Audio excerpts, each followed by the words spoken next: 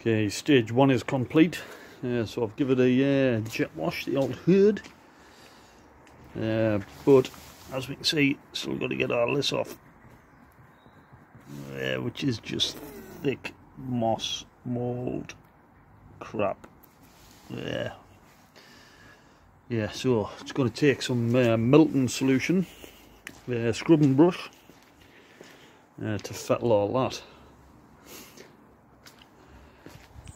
Yeah, I've done the back parcel shelf type cover. Uh, so that's all been cleaned now. That's just uh, drying out. So that'll be uh, that's spot on. Yeah, finish off this hood now before it gets dark. Hopefully I can get uh, some of it clean anyway. Dilly dilly.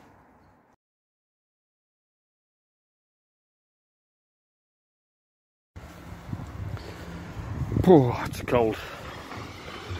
Right, so with me uh, Johnson's Baby Bath Shampoo. Yeah, I've been giving this a good scrub. We can see all the green mould in it there. Green mouldy moss. So I'll just let that soak for a bit, rinse that off, do it again, and then I've got to use the Milton as well, which will kill the uh, kill the green uh, mould and moss spores. Right. Dilly dilly. Right, so I've cleaned this with absolutely all sorts and I still can't get these bits out. I think it's just dried on bird shit. Yeah. Now you can see remnants of it there, however it looks a lot better.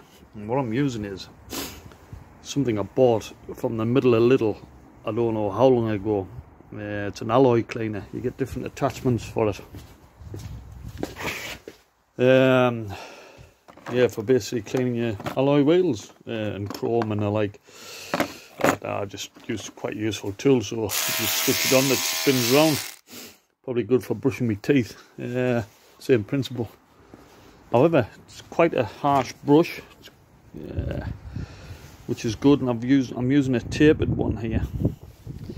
And just if you have a quick look at the part on here, so it's going on a bit of an angle.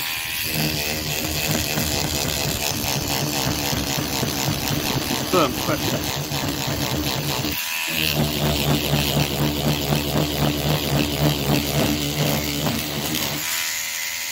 we go, it's gone. Just I've got to do it for everyone, so uh, it's going to take some time, but have to persevere with it, I suppose. Because there's nothing else that's going to shift this. Just got to get into the material probably the batteries will run out I'll get some Duracells they'll last for a good while like.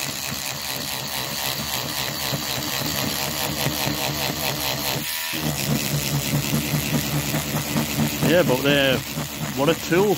Please I bought it uh, all that time ago.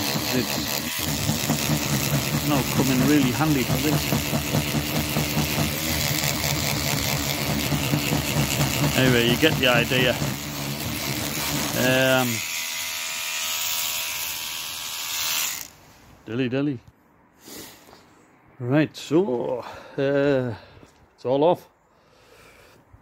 It's come up great. Really pleased with that. Fantastic. So the next thing is just to give it the last clean with the Milton. As I said, that'll kill all the green uh, mould spores and moss spores. Then I just need it to dry.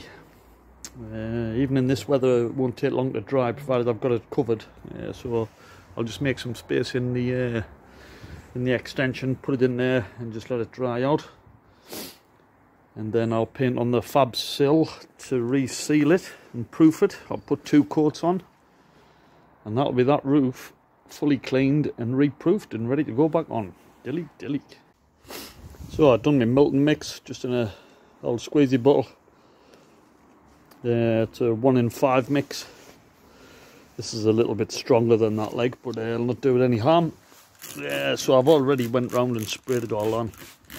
The good thing we're putting it in a spray jet is it's going to force itself into the material to attack these um, mould moss spores and it's just going to make sure that I've you know got it all on the material everywhere. As I say I've already done it so I'm just doing this for demonstration purposes clearly. But yeah that'll make sure that when this dries I don't get any green patches because it will literally just kill uh, that mould in the material. So I'll leave this on for 15 about 15 minutes uh, don't need any longer than that. That'll have done its job. And then I just rinse it off uh, with cold water. Uh, I don't need to use the power wash because I've already done the cleaning now so just sprinkle it with cold water uh, give it a rinse off and then that's it. I'll put it in for dry. And then I can do one or two things. I can either fit it and then seal it or seal it and then fit it. Doesn't really matter I suppose it'd be beneficial at least to go around the bottom part uh, where it actually makes contact with the rubber seal when it's in situ. Um, because at least then I know that it's all uh, it's all been proofed everywhere that it needs to and then possibly put the roof on and then uh, and then complete the rest.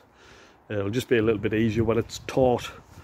Um, yeah so I can get that uh, the liquid into the material properly Right, that's it guys, dilly dilly.